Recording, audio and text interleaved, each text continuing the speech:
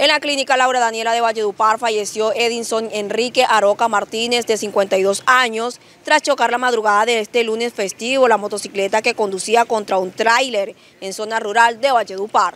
Edilson Enrique Aroca Martínez falleció este lunes festivo en la clínica Laura Daniela de Valledupar, luego de sufrir un accidente de tránsito en la trocha de la Isabela, zona rural de la capital del Cesar. Según informaron familiares del Oxiso a las autoridades, Aroca Martínez sufrió un choque con el tráiler cuando se transportaba en una motocicleta a la 1 y 30 de la madrugada del domingo, hacia la vía nacional con destino a su residencia en una finca de la zona donde trabajaba como jornalero. El hombre quedó mal herido tras el fuerte impacto y fue trasladado al centro asistencial donde falleció horas después de su ingreso. Autoridades de tránsito realizaron la inspección técnica al cadáver y lo trasladaron a la morgue de medicina legal en Valledupar. Según la Agencia Nacional de Seguridad Vial, hasta el mes de septiembre en el Cesar se han registrado 230 siniestros viales con víctimas, de los cuales 159 son usuarios de motocicletas, 29 peatones, 22 en vehículos particulares y 10 en bicicletas. Las principales causas de los accidentes son el exceso de velocidad, ingesta de bebidas alcohólicas, sobrecupo e imprudencia.